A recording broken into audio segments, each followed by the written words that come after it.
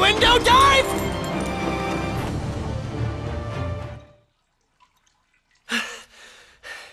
I... I guess I beat him.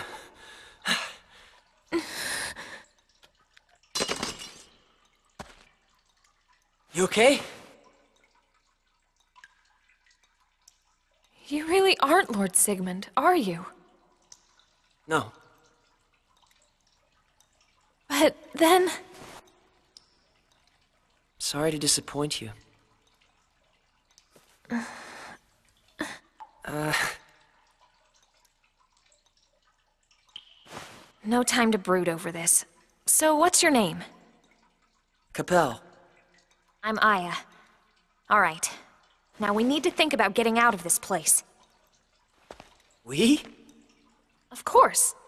No thanks. I stay out of danger. I'm telling you that I'll help you escape. I didn't ask for help. I don't care if you want my help or not.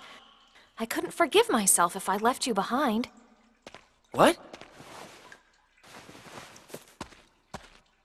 Come on, for my sake, just follow me. All right. Okay then, let's go.